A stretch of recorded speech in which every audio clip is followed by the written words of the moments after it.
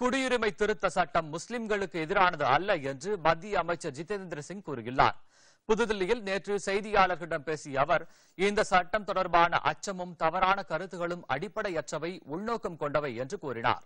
சமுதாயத்தில் சில பிரிவினர் ஏற்படுத்த விரும்பும் தேவையற்ற அச்ச உணர்வை குறைக்கும் வகையில் பேசிய அவர் சிறுபான்மையினரின் நலனை உறுதி செய்வது மட்டுமே இந்த சட்டத்தின் நோக்கம் என்று கூறினார்.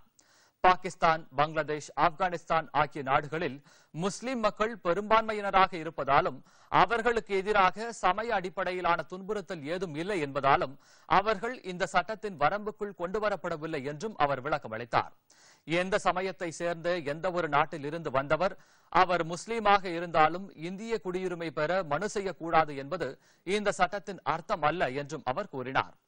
ஆயிரத்து தொள்ளாயிரத்து ஐம்பத்தி ஐந்து குடியுரிமை சட்டத்தின் ஆறாம் பிரிவின் கீழ் எந்த நபர் தகுதி பெறுகிறாரோ அவர் இந்திய குடியுரிமை பெற மனு செய்யலாம் என்றும் அவர் மேலும் கூறினார்.